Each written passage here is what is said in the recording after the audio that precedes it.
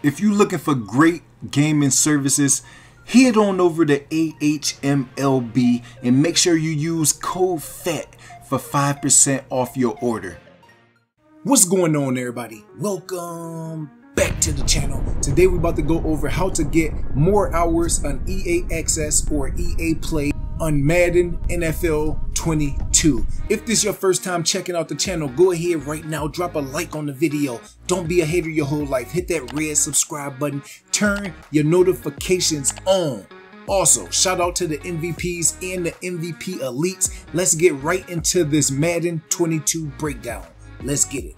If you're trying to be fresh and fly with great quality products, Go in the link in the description. My merchandise is live right now, and you can also get a discount using MVP10 at checkout. We got t-shirts, v-necks, hoodies, we got coffee mugs, everything that you need for your phone, iPhone, Samsung, Android, for the ladies, leggings, we got it. Don't be a hater your whole life and lessons to blessings. God bless everybody that gets it. If you rocking with me, you know I got y'all. All right, so the first thing that you want to do if you have new generation and old generation, you can get 10 hours on both without having to spend any money. Now, if you only have the old gen consoles, PlayStation 4, Xbox One, then you will have to pay extra money in order to get extra time. But we're gonna go through the new gen process right now. As you can see on the screen, I have the Xbox Series X and S version, and then I have the regular Xbox One version. Now, what's important is for you to follow these steps. So a lot of people are having trouble with even getting the game to work. So as you can see, I have 10 hours left or less than 10 hours right here and I can play the trial okay so what I'm gonna do I'm gonna close that out a lot of people are saying that their time is expiring without them playing you have to make sure that none of these apps are open so if you push the start button make sure you quit out of anything. If it says quit, that mean that your application is still running in the background. You want to make sure this one don't have quit on it. You want to make sure that the application is all the way closed out. So what you want to do to make sure that you can get it one, download it, and two, to the trial is you want to go right here and then you want to see in the Microsoft Store. Okay, so once you click on it and see in the Microsoft Store, you can see over here is either going to say free trial with EA Play or download. Okay, so you got to have this version download it onto your game and then you're going to click that and you're going to download it. Now, if you don't got the game downloaded, all you want to do is you want to do the same thing, but you want to go to manage game and add-ons. So you can see my game is installed, but if you click on that and this is not check marks, that box right there has to be check mark that's install or download. If it's uncheck mark, you have to make sure that you click inside of it and then you're gonna go over here to the right and then down there is gonna say download or install the game. Once you got the game downloaded, that's when you would go into the Microsoft store and then you would use your free trial.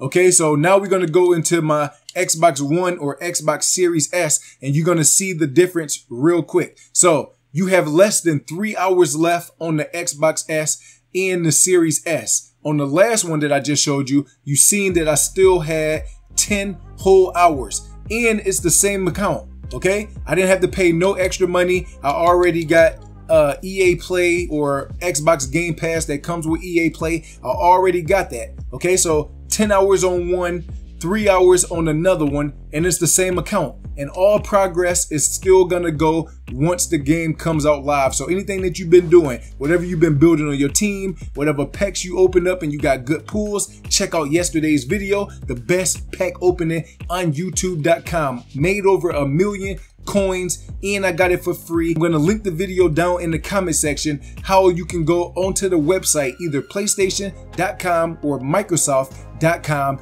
and then you can redeem your points. Once you redeem your points, it's to go into your account okay? And you're to have an account balance. So however you go into your account balance to pay for games or whatever it is all the way to the right is to say Microsoft balance in here if you're trying to open bundles anything like that. And I had about $180 for free just redeeming off of Microsoft.com playing the game opening packs over the past couple years whatever it was gave me 170 something thousand Microsoft points. Now on PlayStation, I don't know how the points accumulate, but if you have any kind of rewards, use them right now in early access. If this video helped you out, drop a like on the video. All right, so we're gonna go through this again.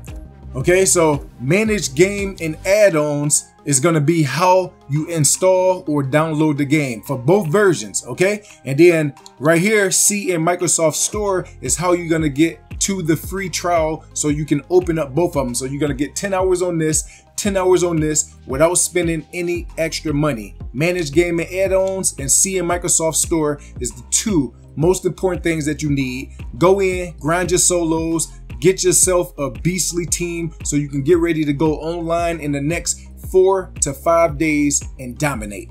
If y'all rocking with me, you know I got y'all. Let's get it.